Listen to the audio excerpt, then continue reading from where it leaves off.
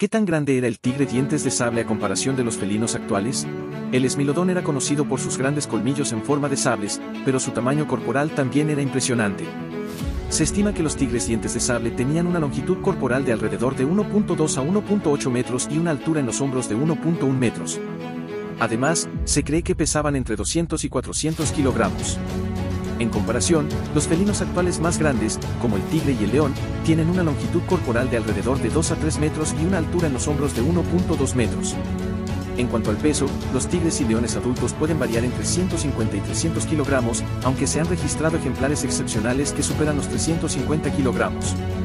En resumen, aunque el Smilodon tenía colmillos distintivos y adaptaciones únicas, los felinos actuales en general son ligeramente más grandes en términos de longitud y altura, aunque pueden tener un peso similar o incluso más ligero en comparación con los tigres dientes de sable. Además,